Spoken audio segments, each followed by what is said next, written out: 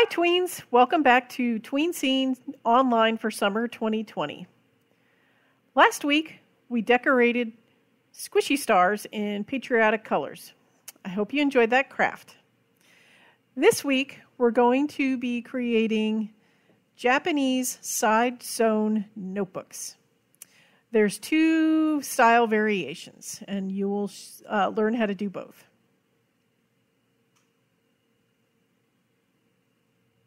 In your kit, you'll have received uh, some colorful paper and some plain notebook paper that has been pre-cut and hole punched. You'll also receive about 36 inches of jelly string. It should go with your colorful paper covers and about four beads.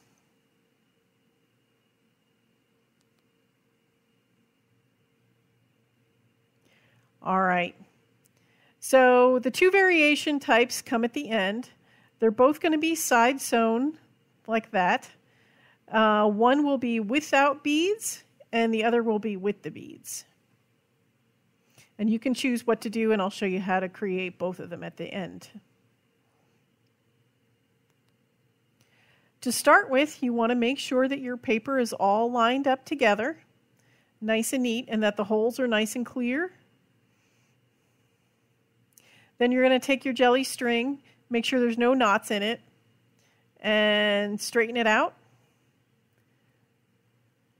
It'll be a little kinked up from being in the bag and uh, in the folded thing that I received it in. All right, to start, you're going to come through the back of the bottom hole, bring it all the way through, leaving about four to five inches of string at the bottom. Just like that. Now, making sure that it lays flat, you're going to go up to the second from bottom hole and come through the front and pull the string out through the back. This first part will just be like lacing a shoe, or any other project. So make sure your string's lying flat. Take the end, come up from the back to your next hole, the second from the top. Bring it forward.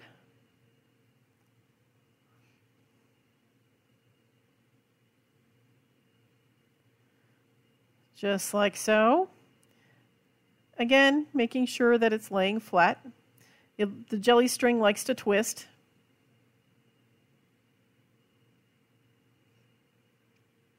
Once you've got it flattened out, you're going to take your string and go through the top hole from the front. Pull it all the way through, nice and tight, making sure it's laying flat.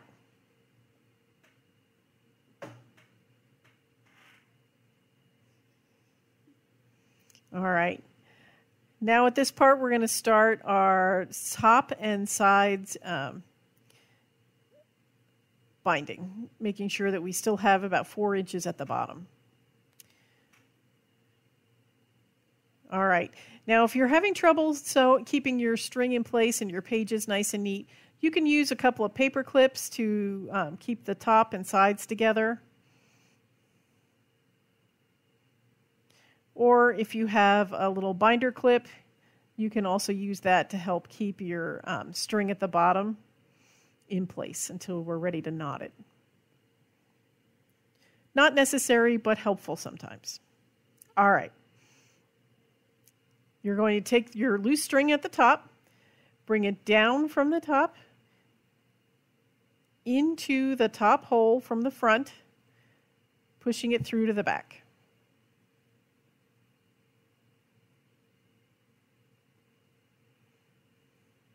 Again, always making sure that the jelly string is lying flat. Now your string should be at the back of your project.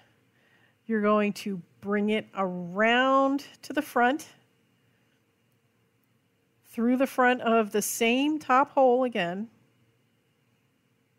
and pull out from the back. Again, making sure that it's lying nice and flat. You have your top corner sewn and bound. All right, you can flip your project over at this point, and we're going to move down to the second from top hole, bringing it through the back to the front. Again, making sure the string is lying flat. Flip your notebook over. Your string should be in the front of your project. Everything should be nice and flat.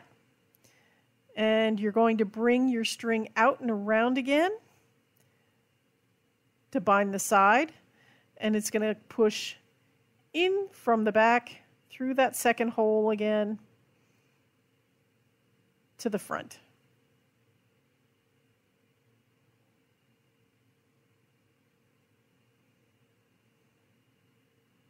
Nice and neat, nice and flat. Everything's all tight. You're going to bring your string down to the second from bottom hole, coming in from the front, pushing through to the back. Checking to make sure it's not twisted. All right. Again, bringing it around from the back to the front pushing through the front hole, out the back. Everything's nice and tight. You can flip your notebook over. You'll come down to the last hole, the last part that needs to be bound. Bring it out to the front, making sure that's nice and flat and everything's tight. You can flip it over at this point. All right, almost done. Everything is nicely bound. We're going to bring it one more time through the back to the front so that everything is uh, evenly matched. All right, we're almost done. At this point, you can remove your paper clips and binder clips if you used it. And you're ready to tie off your knots. If you're not going to add beads, all you need to do is knot your two strings down at the bottom. Because the jelly string likes to come loose, I would recommend doing at least two granny knots or square knots um, to keep things in place. It likes to get nice and tight. You're going to want to make sure that you don't tie it too close to the edge of the paper so that you are able to turn your pages.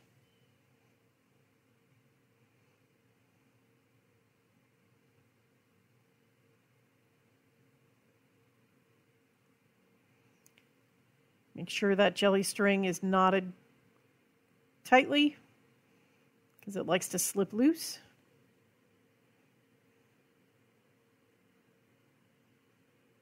like that. Good. Now, if you uh, see, everything is neatly bound, both front and back, evenly. Same in size, and you can turn and open your pages. All right. If at this point you don't want to add beads, you can trim your jelly string just below the knot, and everything will look nice and neat, as uh, with my example in this first one. Now, if you want to add beads, decide what order you want them to go into. I wanted to alternate my yellow and blue on one side and then have blue and yellow on the other. So because the pony beads have a really wide opening, I'm going to need to make my knot tie it probably three times.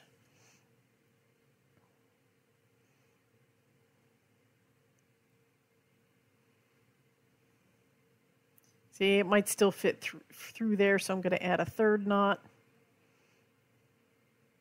like so. And then when I'm sure everything's secure, I can trim the edge of that string, like that. Now, if I wanted to, I could use this other longer string to make a bookmark. So I'm going to add my other beads in the opposite order. So I'm going to start with blue and then yellow. Then I'm going to measure to make sure I have it long enough to make a bookmark. And I'm going to knot it there. This is nice to have. It's not really necessary since this is just a short 10 page notebook. But uh, if you were making one of your own at home that had a lot more pages in it, it might be nice to have and bookmark that as part of the book. So knotting it three times again, nice and tight. Then I can trim off the excess, throw that away. And then I have my longer beaded bookmark. Now, you can make these of your own. You can uh, use any kind of paper. You can use watercolor paper. I just used printer paper here because it was easy to uh, find. And this is just colorful um, scrapbooking paper. You could use cardstock, you could use cardboard. Uh, this really works with any number of different materials. Uh, you don't have to use jelly string.